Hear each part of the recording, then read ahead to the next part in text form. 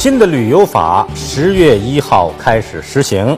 南京市旅游质量监督管理所和一日游协会专门召开了工作会议，要求南京各个旅行社在开展一日游的项目当中率先执行旅游法。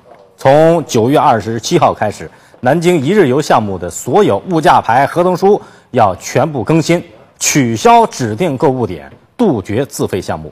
一些景点的商店因此就没客源，关门歇业了。看报道。目前，南京市场共有七家旅行社经营一日游项目。按要求，他们从二十七号起就必须按照新路线发团，全程不进购物店，拉长景区游玩时间。新版南京一日游合同中，各景点的停留分钟都被明确标出，只允许超时，不允许缩水。新的线路呢，就是囊括了一个，就是把所有的旅游购物商店，包括。呃，原来我们的一些这个旅游景点上一些不规范的一些商铺这一块，我们把它全部规避掉。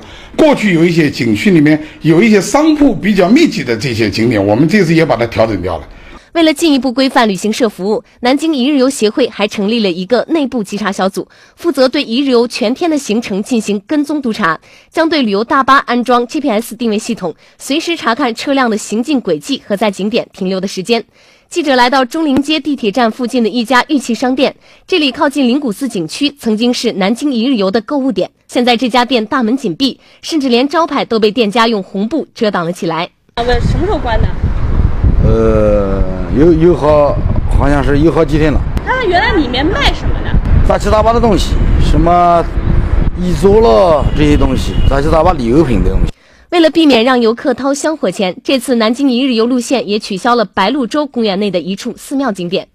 游客在一天的旅游过程当中，绝无二次收费这样的情况。